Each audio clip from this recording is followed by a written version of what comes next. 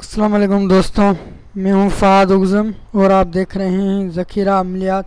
ये वही वीडियो चल रही है दोस्तों, जो मेज़ पर रूह बुलाने का है।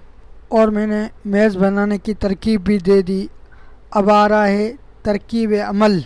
तो दोस्तों, मेरे वीडियो को शेयर करो, बेल नोटिफिकेशन को दबाओ, चैनल को सब्सक्राइब करो, ताकि मेरी हर वीडियो आप लोगों को मिलती रहे। और मेरी वीडियो को लाइक भी करो। और दोस्तों, मेरी वीडियो को पूरा देखो ताकि आप लोगों को सही समझ में आ सके। ये वीडियो मैंने जो बनाई थी, ये बहुत बड़ी लंबी बन जाती, वरना इसलिए मैंने इसको चार हिस्सों में तकसीम करा है।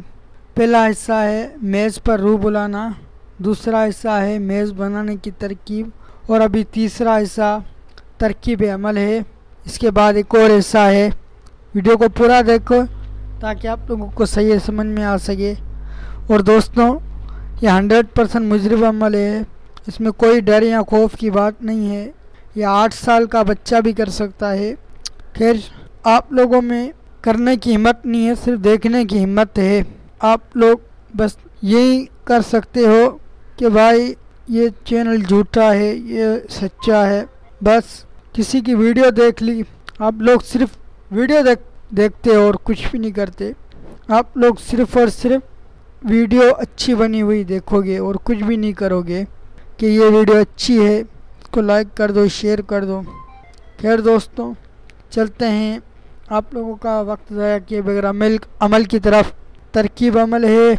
यानी रूह के बुलाने का तरीका ये है कि पाँच या सात आदमी मैज़ मज़क्र के गिरद बैठें और आस्तगी से उस पर हाथ रखें। उंगलियाँ मेज़ से मिली रहे और हथेली ऊँची रहे और उंगलियों से आहिस्ता आहिस्ता तखत पर हरकत देते रहें। ये अमल रोज़ाना आधा आधा घंटा, एक हफ़्ता करें। एक हफ़्ते के आखिरी रोज़ उस मेज़ में रूह आएगी। जो चाहें उससे दराफियत करें। दोस्तों, ये बहुत ही आसान अमल है। इसमें कोई डर या खौफ नहीं है। बस आप लोगों को बस कुछ ही चीज़ों का ख्याल रखना पड़ता है दोस्तों। और मेरी वीडियो को पूरा देखोगे, आप लोगों को सही समझ में आ जाएगी। और आप लोगों का शुक्रिया मेरी वीडियो देखने के लिए दोस्तों। अमल रोज़ाना आधा आधा घंटा एक हफ़्ता करें। एक हफ़्ते के आखिरी रोज़ उस मेज़ में रूह आएगी। जो चाहें उससे दराफियत करें। दोस्तों, ये बहुत ही आसान अमल है। इसमें कोई डर या खौफ नहीं है। बस आप लोगों को बस कुछ ही चीज़ों का ख्याल रखना पड़ता है दोस्तों।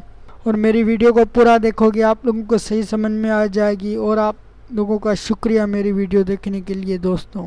को सही समझ में आ जाएगी और आप लोगों का शुक्रिया मेरी वीडियो देखने के लिए दोस्तों। ये दोस्तों।